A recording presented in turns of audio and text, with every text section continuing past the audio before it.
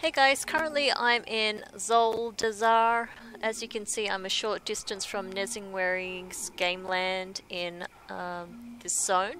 So, where I am on the road, we're about to cross over behind this tree. And here you'll see one of the mysterious trash piles, which is the item you would normally interact with to summon Jani, which is the Loa of scavengers.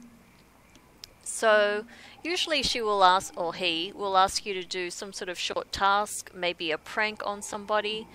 But today I have looted this item, a feathered serpent scale from one of the serpents on the other side of the road. And all you have to do is come over here to this trash pile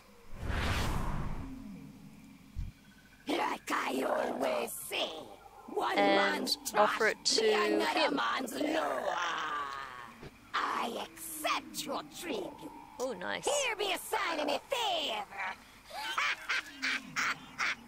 Well, that was a nice little bonus. I hadn't actually done this um, little hand in before, but the other item that I picked up just from looting off mobs was a golden egg that I think I looted from some other type of dinosaur.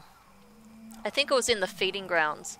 You'll see another video for that fairly soon, but they're the only two items that I've seen to actually offer it as a little gift to Jani. The other ones, as I said, are just little pranks and tasks that he asks you to do from time to time.